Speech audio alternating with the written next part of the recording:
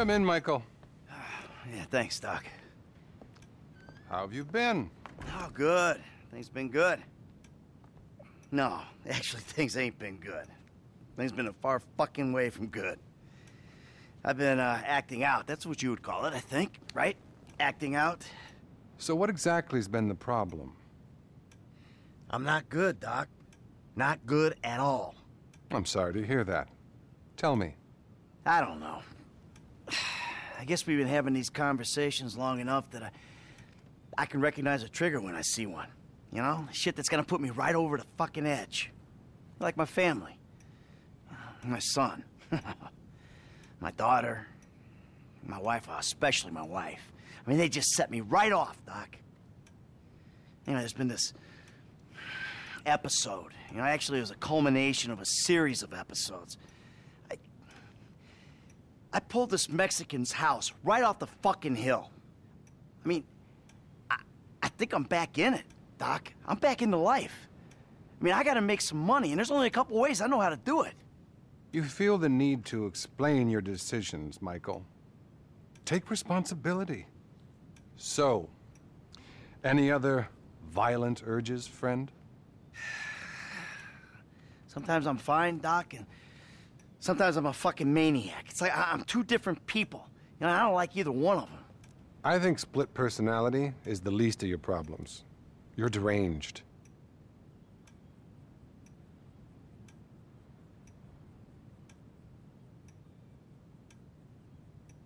Everyone makes mistakes. I'm not trying to be perfect.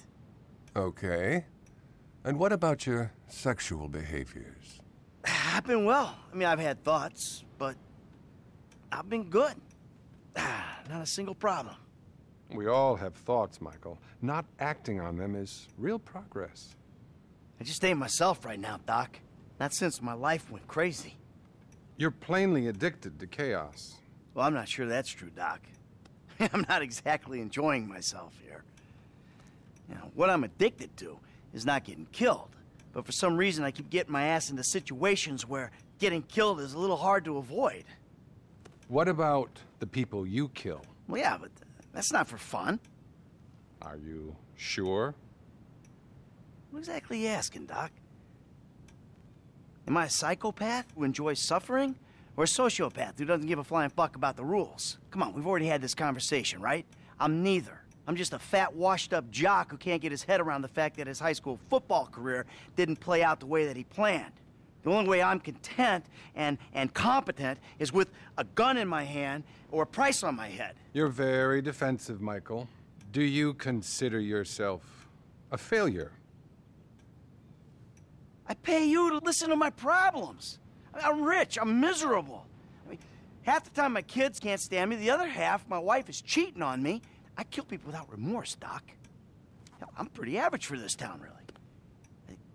Wait a minute. That's the shot. That, I, I, I think I'm having a breakthrough here, Doc. Th- This. I think. No, no, I know that I'm just terrified that I'm, I'm, sure gonna... you are, but that's really all we have time for.